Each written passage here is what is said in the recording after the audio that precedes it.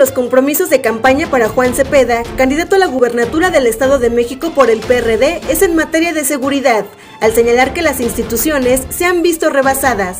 91% de los mexiquenses hoy día han sido víctimas de la delincuencia. Está, está desatada, está desbordada y tiene que ver con que en el Estado de México se ha visto a la seguridad como un negocio y cuando se le ve como un negocio se pierde el objetivo que es que la seguridad es una responsabilidad del Estado. Esa es la razón de ser del Estado, garantizarle tranquilidad, paz, seguridad a los ciudadanos. Después de participar en su primer debate con el resto de los candidatos, mismo en el que retó a sus adversarios a someterse a la prueba del polígrafo, aseguró que con esto demostrará que él sí es un ciudadano confiable. Yo estoy listo para que a la brevedad y ante notario público podamos eh, someternos a la prueba del polígrafo y ver quién miente, ver quién dice la verdad en muchos de los temas que hoy se tratan. Al reunirse con alumnos del Tecnológico de Monterrey Campus Toluca y en el marco del Día de la Ciudadanía,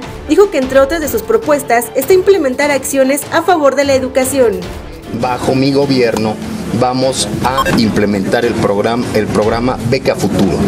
Todos los jóvenes van a tener la posibilidad de estudiar. Nadie abandonará el estudio por falta de dinero. Finalmente, en el tema de quienes residen en los Estados Unidos, dio a conocer la creación de una Secretaría del Migrante que evite que los mexicanos sean violentados en actos racistas.